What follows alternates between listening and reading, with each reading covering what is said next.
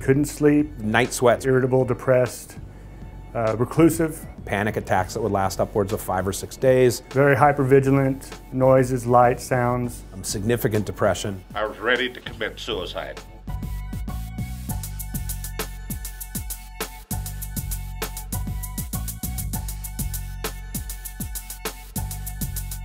The procedure is so simple and the results is so great. It, it was tremendous. That night was the first time that I had slept all night in f- over 40 some years.